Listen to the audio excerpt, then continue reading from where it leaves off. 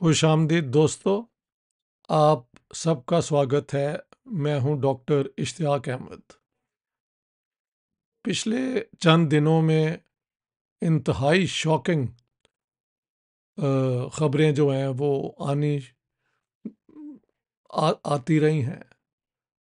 कुछ दिनों पहले एक आ, बंदे को जिस पे ब्लैसमी का इल्ज़ाम था उसको जब पुलिस वाले थाने ले गए तो वहाँ पे एक पुलिसमैन ने उसे गोली मार दी और वो मर गया। उस पुलिसमैन को फिर बाद में इन्होंने हीरो बना दिया। इसके बाद अब सिंध के अंदर डॉक्टर शाह नवाज़ जो थे उनके ऊपर ये ब्लैसमी का इल्ज़ाम लगा। आ, उनको भी जब पुलिस स्टेशन लाया गया तो एक सीनियर ऑफिसर ने जो बताया जाता है कि स्कॉलरशिप पे यूके में पढ़ते भी he is been studying there for some reason उसने गोली मारी और हमने फिर देखा उसको हार पहनाए गए और ये और वो। एक गरीब पाकिस्तानी हिंदू ने, प्रेमो कोहली ने, डॉक्टर शाहनवाज की जो पहले उसके जिस्म को जला भी दिया गया, जो भी बॉडी बची थी वो लेके उसने डॉक्टर शाहनवाज के ख़ानदान को दिया। मैंने देखा है कि शाहनवाज साहब की, डॉक्टर साहब की फैमिली प्रेमो, कोहली के हाथ चूम रहे हैं। और पाकिस्तान में इस पर बहुत जो है ना ह्यूमन राइट्स एक्टिविस्ट एनलाइटन लोग पाकिस्तान में हैं तो सही, इसमें कोई शक नहीं है। बहुत इस पर कंडेम किया गया है इस किस्म की सियासत को। लेकिन जिस चीज़ को लोग नहीं समझ रहे या समझ रहे हैं, उनको कंसेप्चुअली और थोरेटिकली ये समझ नहीं आ रही कि after all what is the purpose of a state दो थियरीज है ना। एक तो स्टेट ये है कि जो मसले इंडिविजुअल्स खुद हल नहीं कर सकते, यानी रोड बनाना। रेलवे लाइंस बिछाना लार्ज स्केल पे इकोनॉमिक प्रोडक्शन करना, खाने पीने की चीज़ें प्रोड्यूस करना, डिस्ट्रीब्यूट करना। बाहर से कोई हमला हो तो अपने शहरियों को बचाना। और अगर क्रिमिनल्स जो हैं वो किसी का हक मान मार रहे हों तो उनको ड्यू प्रोसेस ऑफ़ लॉ के बाद सज़ा देना। ये तो है द लिबरल स्टेट का कॉन्सेप्ट जो दुनिया में हर जगह माना गया है। दूसरा एक आइडिया है कि स्टेट जो है, वो तो एक क्लास की होती है। लिहाजा उसके अंदर न्यूट्रलिटी नहीं होती। लेकिन जहाँ जहाँ सोशलिस्ट मुल्क बने भी सोवियत यूनियन चाइना और बाकी जितने भी हैं, वहाँ पे एक दफ़ा जब स्टेट बन गई तो वही जो है ना rights of the individual process of law सब चीज़ें वहाँ पे लाई गई। स्टेट बेसिकली लीड करती है सोसाइटी को।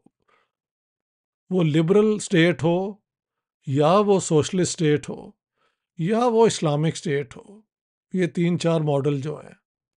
The state is there to lead people लेकिन पाकिस्तान की स्टेट ऐसी है जिसने बहुत देर से अपना जो लीडिंग रोल है वो बिल्कुल अबेंडन यानी छोड़ दिया हुआ है।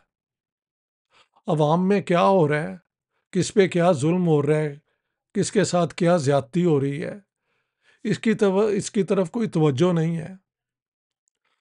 लोगों के खाने पीने के जो हैं वो चीज़ों के दाम कितने बढ़ गए हैं, इस पर कोई तवज्जो नहीं है। सारा कुछ it's like the state abandoning its primary duty अपनी जो प्राइमरी ड्यूटी है, चाहे वो सोशलिस्ट हो इस्लामिक हो लिबरल हो, वो सिटीजन्स के राइट्स और प्रोटेक्शन है once the state is established लेकिन ये जो दो एक्ट हुए हैं, ये तो क्योंकि बहुत प्रमिनेंट हो गए न्यूज़ के अंदर तो इनका ज़िक्र है। हर रोज़, हर लम्हे इस किस्म की जो है ना लिंचिंग मॉब साइकोलॉजी वो आम ज़िंदगी का हिस्सा बन गई है। और इसका नुकसान अल्टीमेटली पाकिस्तान को है। दुनिया के इंटरनेशनल फोरम्स में पाकिस्तान की कोई इज़्ज़त नहीं है। जहाँ भी पाकिस्तान ये आप देख लें nobody takes Pakistan seriously secretary of state US के जो थी। मेडलिन ऑलब्राइट ने कहा था, Pakistan is an international migraine migraine वो सर दर्द है जो, जिसका कोई हल नज़र नहीं आता। लेकिन ये दुनिया के लिए हेडेक हो या ना हो माइग्रेन हो या ना हो, आम पाकिस्तानों पाकिस्तानियों के लिए पाकिस्तानी स्टेट जो है, वो हर तरीके से नाकाम हो गई है। इन हालात में अगर अब भी ये कोई इकदाम यानी स्टेप्स नहीं लिए जाएँगे, जिनसे इन, इस किस्म की एक्सट्रीमिज़म को रोका जाए हाँ जी, एक्सट्रीमिस्ट ऑर्गेनाइजेशंस को प्रोस्क्राइब, नॉट प्रेस्क्राइब्ड, प्रोस्क्राइब्ड, यानी उनको आउट इलीगल करार दे के उनको बंद किया जाए। और इस किस्म के कानून जो मॉब लिंचिंग कल्चर को प्रमोट करते हैं, जब तक ये कोई हिम्मत करके ख़त्म नहीं करेगा, पाकिस्तान की स्टोरी आगे नहीं बढ़ सकती। हम सारे लोग पाकिस्तान का भला चाहते हैं। पाकिस्तान का भला ही है अगर पाकिस्तान के सिटीजन्स का भला स्टेट ऑफिशियलडम जो है उसको अपनाए। ये ऐसे नहीं है कि पुलिस ऑफिसर जो, जिनकी ड्यूटी है टू डिफेंड एक एन एक्यूज और जब तक प्रोसेस ऑफ़ लॉ ना हो ड्यू प्रोसेस जो उसके अंदर सिलसिला है, उसको कोर्ट में लाया जाए, उसका चलान हो, जो भी है, उसके बाद हाँ जी तो ये तो खुद ही इन्होंने दे हैव बीन तो mob psychology is now part of the state functionaries ये शायद पता नहीं हिटलर के जर्मनी में हुआ होगा और हुआ था, ये मुझे पता है। साउथ अफ्रीका में होता रहा है। अब ये पाकिस्तान के अंदर भी हो रहा है। तो पाकिस्तान की स्टोरी बद से बदतर होती जा रही है। अभी भी हमारी अपील है पाकिस्तान में कई रोशन ख्याल लोग हैं। वो सब समझते हैं कि ये इन चीज़ों की कोई ज़रूरत नहीं है, बल्कि ये जो बेसिक नॉर्म है आज की ट्वेंटी फ़र्स्ट सेंचुरी के, उनकी ग्रोस वायलेशन है। It's a flagrant violation of the basic rights of individuals. Human rights कह लें आप, फंडामेंटल राइट्स कह लें आप। सबसे ज़्यादा बड़ी राइट तो ज़िंदगी है द राइट टू लाइफ वो राइट ऑफ़ लाइफ अगर आप ख़त्म कर दें even before the culprit has been given a chance to defend himself तो ये तो जुल्म की इंतहा है। अब तो लोग कैपिटल पनिशमेंट को ख़त्म करने की बात करते हैं। हमारे यहाँ तो कैपिटल पनिशमेंट है, लेकिन अगर ये अगर हमारे कानून का हिस्सा है तो उसके पूरा एक प्रोसेस भी है। उसके बगैर ही जो अब ये हो रहा है, और इन लोगों को जो ये इस किस्म की हरकतें करते हैं जालमाना उनको हार पहनाए जाते हैं, उनको हीरो माना जाता है तो ये पाकिस्तान के लिए it's not good news Pakistan has been in the bad news for too long ये आप नए नए इश्तहार क्यों मुल्क के मुतलक छपवा देते हैं। हाँ जी, एक डॉक्टर जिसको पता नहीं कितनी मुश्किल से पढ़ाया गया होगा, किन हालात में उन पर यह चार्जेस लगे। Did he not have the right to defend himself हाँ जी, ये एक बेसिक सवाल है, मैं प्राइम मिनिस्टर ऑफ़ पाकिस्तान से बात करना चाहता हूँ। चीफ ऑफ़ आर्मी स्टाफ से भी यही अपील है। After all Ultimately, the real power resides with the GHQ. So the appeal is to them.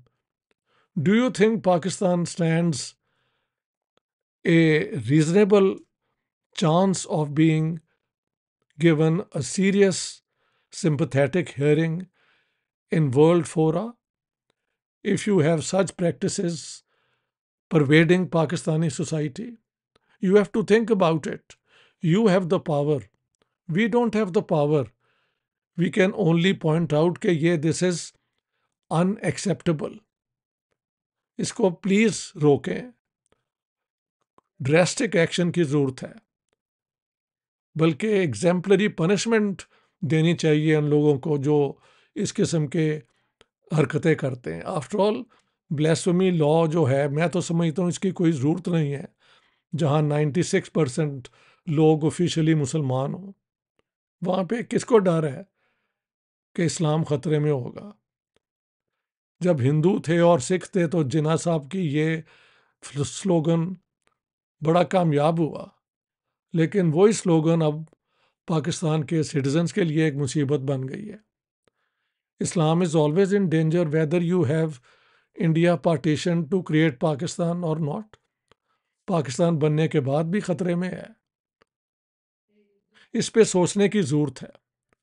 There is the need for serious reflection deliberation adumbration we need to think about the future of Pakistan as a state वरना ये state disintegrate कर जाएगी। कोई nuclear weapons जो हैं guarantee नहीं होते एक स्टेट की कॉन्टीन्यूटी के। Soviet Union is an example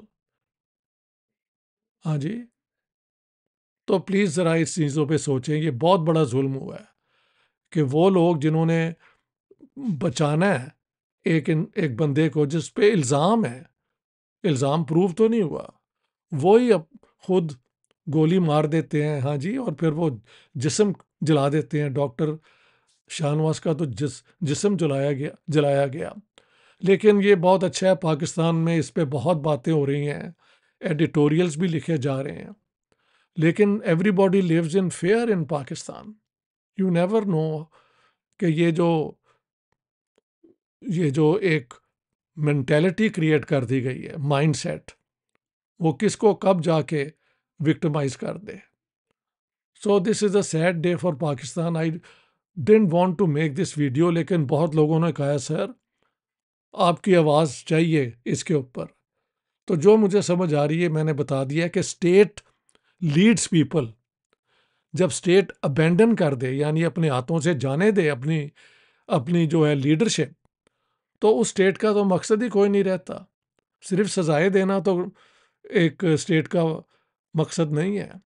या लोगों के जो स्केर्स को रिसोर्स हैं, उनको लूट के हाँ एक करप्ट एलीट के लिए वो सारी मरात जो हैं you know all the perks जो हैं वो मुमकिन हो सकें लेकिन आम पाकिस्तानी के कोई भी राइट्स ना माने जाएँ ये जुल्म है so I want to register my concern and protest I hope I have something better to say at some point.